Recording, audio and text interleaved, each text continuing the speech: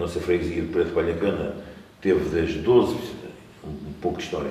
das 12 primeiras escolas de, do Conselho de Alenquer, sei de cor, sei que a escola do Pereira é de 1873, eh, e, portanto, lembro-me de em miúdo, íamos para a escola, era, portanto, agora há muitas críticas, ainda bem que as coisas evoluíram, mas na nossa altura íamos a chover, pá, com os saquitos de saca, aqui para lá, e das aldeias em redor, tudo ia para o Pereira também, tudo ia para a escola, porque era, era uma obrigação e uma vontade, as pessoas gostavam de aprender a ler. Sobre o tempo em que a professora, a professora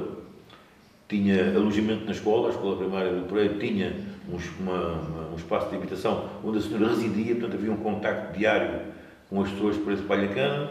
a senhora residia lá, portanto era uma pessoa era muito, muito acarinhada